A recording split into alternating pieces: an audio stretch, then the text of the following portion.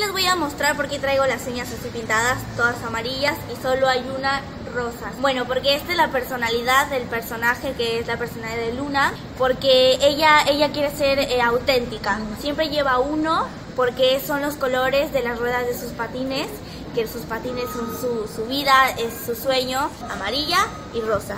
Es esto, la personalidad de Luna.